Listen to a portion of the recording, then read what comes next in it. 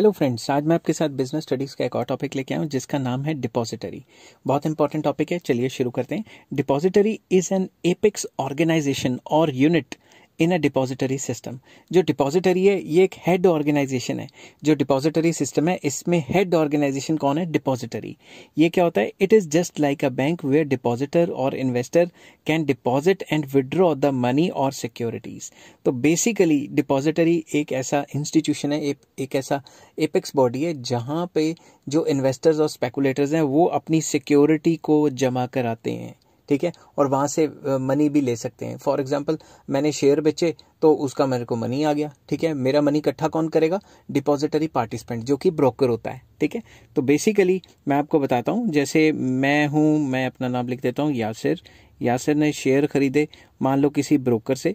Broker को हम कहते हैं डिपॉजिटरी पार्टिसिपेंट, ब्रोकर गया भाई स्टॉक एक्सचेंज में, जो भी मेरे शेयर होंगे, वो किसके पास पड़े होंगे? डिपॉजिटरी के पास। डिपॉजिटरी के थ्रू सारा काम होगा, समझ गए बात?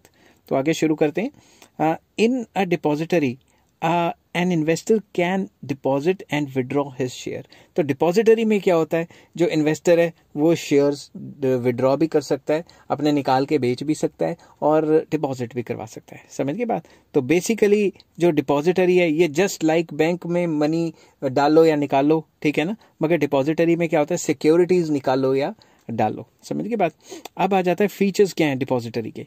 फीचर्स ऑफ़ डिपॉजिटरी क्या होते हैं? सबसे पहला depository is an institution which hold security ठीक है? डिपॉजिटरी एक ऐसा इंस्टीट्यूशन है जो आपकी सिक्योरिटीज को होल्ड करेगा। समझ के बाद depository interacts with investors through agents called depository participants जिनको डीपीज भी कहा जाता है। डिपॉजिटरी हमारे साथ डायरेक्टली इंटरेक्ट नहीं करेंगे, आम बंदे के साथ।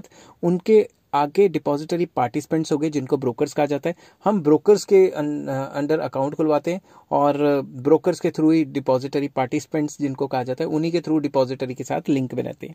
नेक्स्ट आ जाता है डिपॉजिटरी पार्टिसिपेंट्स मतलब DPs can offer service only after obtaining a certificate from SEBI जो डिपॉजिटरी पार्टिसिपेंट्स होते हैं मतलब जो ब्रोकर्स होते हैं, उनको ऐसे नहीं बिना बात के काम करना शुरू कर सकते। उनको सेबी के अंडर अप्लाई करना पड़ता है, फिर उनको तभी लाइसेंस मिलता है। समझ के बात? तो डिपॉजिटरी पार्टिसिपेंट्स अपनी सर्विसेज़ दे सकते हैं आफ्टर ऑप्टेनिंग सर्टिफिकेट और permission from SEBI investors has to open depository account with any depository participant called demat account तो इन्वेस्टर्स हैं, वो किसी भी ब्रोकर के थ्रू डिपॉजिटरी पार्टिसिपेंट के थ्रू डीमेट अकाउंट खुलवा सकते हैं। ठीक है डिपॉजिटरी के अंडर अकाउंट खुलवा सकते हैं। जैसे इंडिया में एन, एस डी एल और सी डी एस एल हैं तो उसमें मैं अकाउंट खुलवा सकता हूँ। बल्कि मेरे खुले हुए हैं तो मेरे को किसी ब्रोकर को पकड़ना पड़ा जो डिपॉजिटरी पार्टिसिपेंट है।